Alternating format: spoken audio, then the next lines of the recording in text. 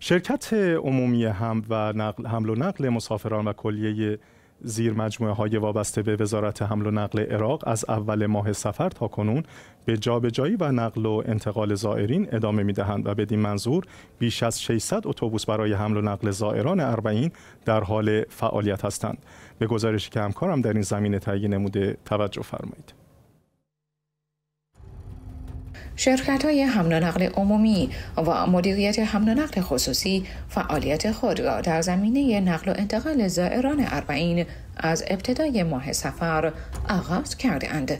این نقل و انتقال از گذرگاه های مرزی شلمچه، جذابه، خسروی و مهران تحت نظارت اتاق عملیات وزارت حمل و نقل و ادارات استانی صورت می گیرد.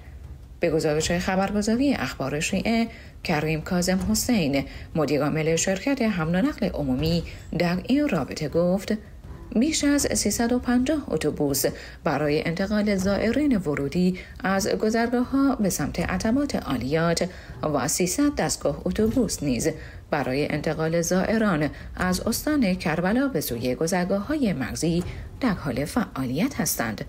وی در ادامه افزود با نزدیک شدن به روزهای منتهی به اربعین حسینی با توجه به افزایش تعداد زائران در داخل شهر مقدس کربلا و با آغاز بازگشت زائران از کربلا به سمت گذرگاه های مرزی احتمال افزایش این تعداد در روزهای آینده وجود دارد.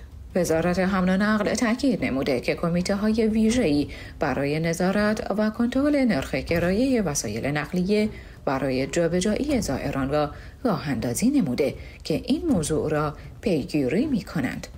احمد کریم الموسوی مدیرعامل شرکت حمل و نقل خصوصی نیز با اشاره به اینکه طرح انتقال زائران توسط این شرکت از اول ماه سفر آغاز شده در ادامه گفت این طرح شامل انتقال هزاران زائر از تمامی گذرگاه های مرزی به سمت عتبات عالیت می باشد و این فرایند با فعالیت وسایل نقلیه در اندازه های مختلف به صورت نسبتا مطلوبی انجام گرفت.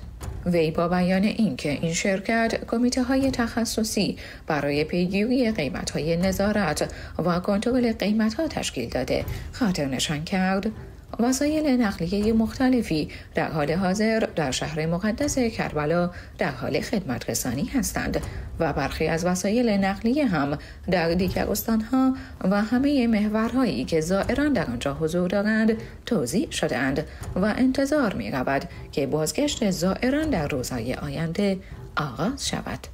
گفتنی است که شرکت راه آهن عراق نیز با آماده سازی 16 قطار مدرن در محورهای بغداد کربلا، بسوه کربلا، سوق شیوخ، ناصری کربلا، دیوانی کربلا و بالعکس در طرح نقل و انتقال زائران اربعین مشارکت دارد. ناوگان هوایی عراق نیز در این زمینه فعالیت خود را آغاز نموده و فرودگاه های بین المللی بغداد و نجف همراه با 26 هواپیما برای تمامی کشورهایی که از آنجا زائران حسینی آزم عراق خواهند شد از جمله بحرین، کویت، بیروت، ایران، هند، پاکستان خدمت رسانی خود را آغاز کردند و علاوه بر آن اتوبوس هایی برای انتقال زائران از مبادی ورودی فرودگاه های بین المللی بغداد و نجف به شهر مقدس کربلا در نظر گرفته شده است. لازم به ذکر است که تا کنون 38972 نفر از گذرگاه مرزی صفان 385152 نفر. از گذرگاه مرزی خسروی 732905 نفر.